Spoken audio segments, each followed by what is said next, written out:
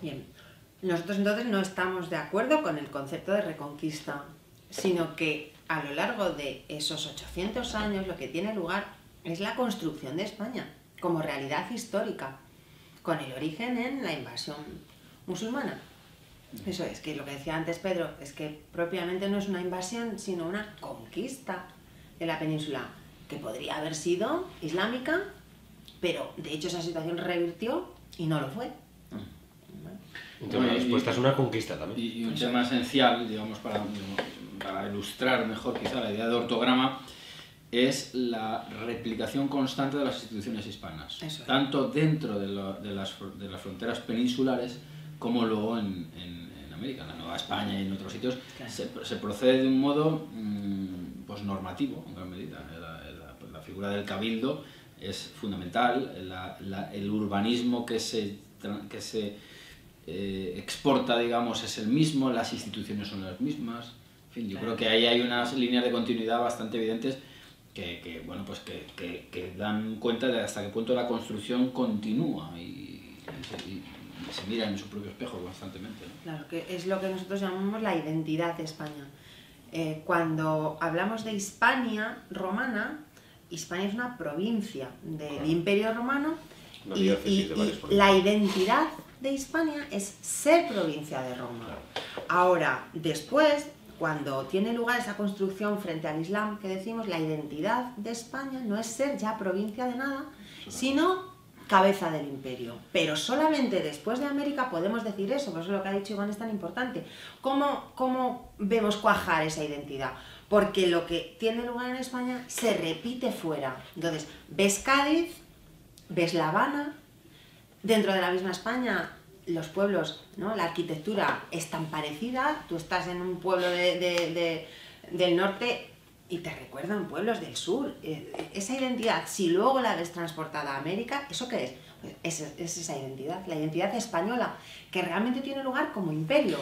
Y, luego otro, otro asunto fundamental, volviendo por ejemplo a las relaciones mmm, trono-altar, que son muy importantes en este caso, es que claro, la propia escala del Imperio Español, la propia potencia que ya tiene, que tiene ya los reyes católicos, de hecho, eh, de hecho se les llama católicos no por casualidad, eh, son los que a, eh, propician la expansión del catolicismo en un nuevo mundo, pero sin configurar unas iglesias estrictamente nacionales. Esto es un tema muy, muy, de, muy de equilibrio y muy... Por supuesto que había, con el patronato de Indias y todo esto, pues una, bueno, eso es un patronazgo de, de, de, esas instituciones, pero, no había, pero había, hubo siempre cierta separación y esto produce muchas distorsiones en el momento y posteriormente, a la hora de revisar las ideas de, de imperio y de la propia España, ¿eh? es un poco volviendo claro, sí, sí, sí. al, origen.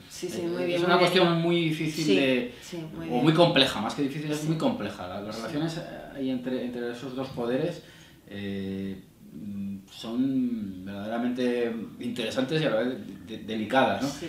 E incluso son dos esferas que hasta en lo iconográfico tienen una traducción con, la, con esos dos mundos constantes, mm. viejo mundo y nuevo mundo. Es un nuevo mundo hispánico y eso claro pues eh, está sitúa a España en una escala muy diferente a, a, la de una Inglaterra que sí que luego, luego a lo mejor hablamos del tema sí que tuvo su imperio sí. pero tuvo un anglicanismo eh, una Francia que tuvo un galicanismo, en fin, que la cosa claro, es más claro, complicada. Porque, porque, porque, propiamente lo que estaba apuntando Iván muy bien es que la, las iglesias nacionales claro, son protestantes. O sea, realmente la iglesia es católica y por tanto es internacional. Y los reyes en España, a partir de los reyes católicos se ve clarísimamente, mm. están utilizando a la iglesia como organismo que trasciende las fronteras de una nación a su servicio y los conflictos bueno, son constantes. Claro, es, es lo que dice, bueno, o por Dios hacia el imperio o por el imperio hacia Dios.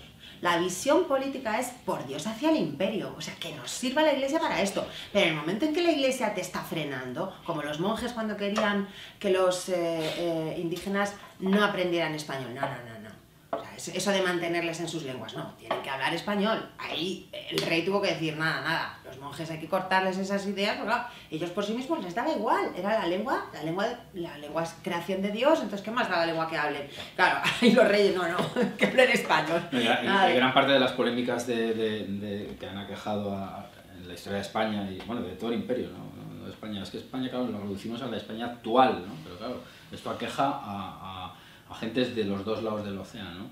Pues es, son estas relaciones eh, entre, y estos conflictos que eran de carácter político con el resto de Europa, pero también religioso, ¿eh? incluso con aspectos raciales, porque el Imperio Español al ser generador e integrador de otras etnias, a, producir el, fenómeno del mestizaje, es otro elemento de diferencia con respecto a las iglesias, eh, por ejemplo, alemanas, de carácter privativo casi, y con un componente racista fenomenal, y esto hay que decirlo machaconamente, con un antisemitismo salvaje que como a nosotros nos afecta en el sentido de que nos ven con estas caras, eh, que son muy diferentes, una más que otra, claro. Y que nos, mezclamos con los claro, judíos. Y que nos mezclamos con los judíos, pero es que nos mezclamos con los judíos aquí, pero en cuanto llegamos a América, por motivos de diferente índole, nos mezclamos con aquella, con aquella población. Entonces, claro, eso alimenta un conflicto que llega hasta nuestros días y que ha configurado unas realidades muy diferentes en función de qué imperio ha pisado o qué, o qué proyectos han, pisado cada tierra. Lo de, la India es evidente, ¿no? Claro, claro, claro, claro que hay hindúes muy, en, sitios muy, muy destacados de sociedades britanizadas ya, bueno, pero, pero todo, lo, todo lo que arrastra por detrás pues es... Gandhi, que había estudiado abogacía en Londres y tal, ¿no? Sí. Claro.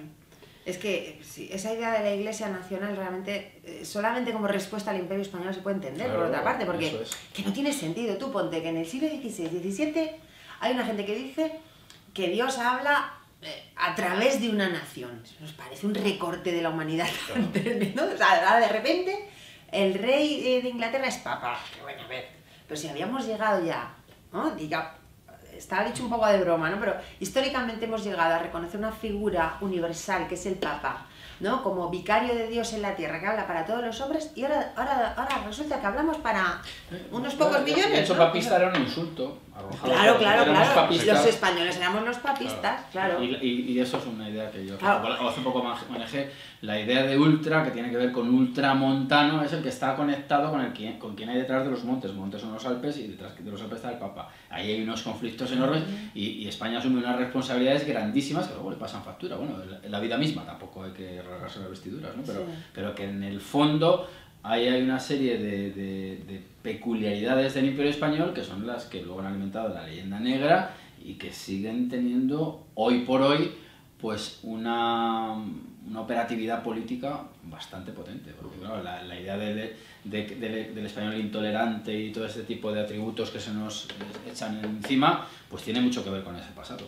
el, hecho de que, mm, bueno, aparte de la literatura, la historiografía, el cine, etcétera, no reconozcan hoy en día, ¿no? y de eso se alimenta el nacionalismo catalán, vasco y tal, no reconocen en España previamente, eh, a, bueno, algunos ni siquiera previamente a 1714, ¿no? Dicen que ahí surge España con los Borbones y tal, ¿no?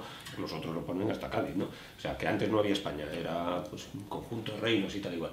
Pero porque han borrado la palabra imperio y esa Claro, es que ese es el tabú. Entonces, como han borrado la palabra imperio, resulta que lo que era España en la época medieval era un imperio. Esto es lo que, mm, como lo han borrado, entonces no se reconoce ya España en la Edad Media, que es lo que han intentado, es decir, borrar de la Edad Media a España como tal, como comunidad, y como, una totalidad, como, un, eh, su reconocimiento por su papel político. Pero eh, aquí hay varios libros al respecto, ¿no? Eh, vamos, el más importante para nosotros es España frente a Europa, porque ahí pues aquilata muy bien, define muy bien, hace toda una filosofía en torno a la idea de imperio, ¿no? ofrece una idea de imperio. Pero eh, ya Maraval y el propio Menéndez eh, Pidal se vieron obligados a abordar ese asunto. Eh, tiene Maraval un libro que se llama El concepto de, de España en la Edad Media, precisamente lo que viene a subrayar que el que en la Edad Media estaba España. ¿Cómo estaba? Como imperio. Esta es la cosa. Y se distingue de la Hispania y tal. Ahí hace Maraval todos los, los, los digamos, todas las referencias eh, desde el punto de vista eh, del, documental acerca de la presencia de la palabra imperio asociada a España. Y el, imperio y los cinco reinos de, de Pidal también haciendo, subrayando esto, es decir, el libro que se titula así, El imperio y los cinco reinos de Menéndez Pidal, en el que reconoce eh, el imperio y España asociado él en época medieval, que es lo que le ha negado cierta historiografía y cierto... Y el, y el término